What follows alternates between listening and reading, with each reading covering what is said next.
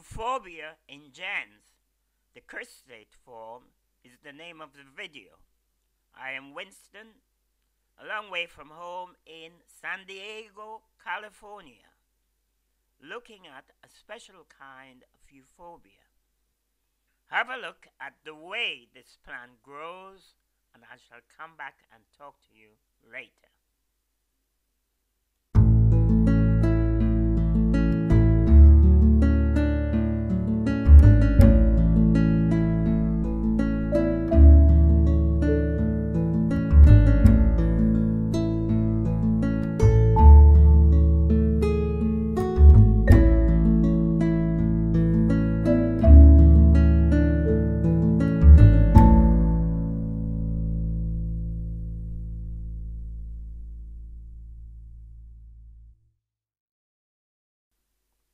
The cristate tendency is not new and it appears to happen in almost many forms of plants.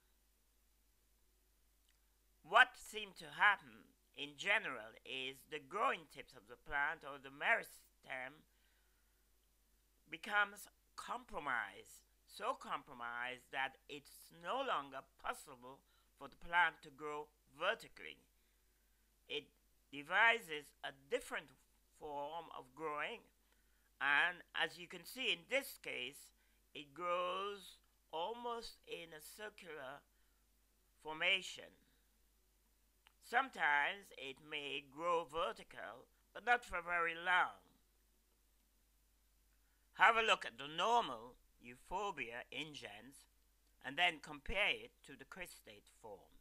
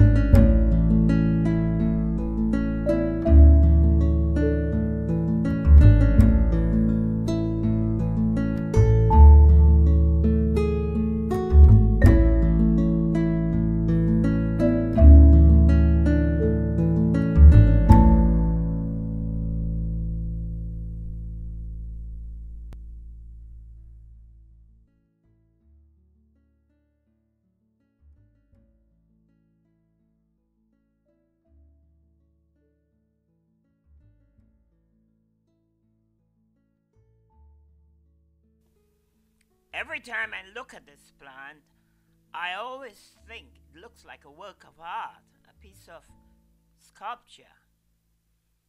The botanical lesson is straightforward. It's something we must learn. Whatever we think of nature, nature will not be dictated by us humans.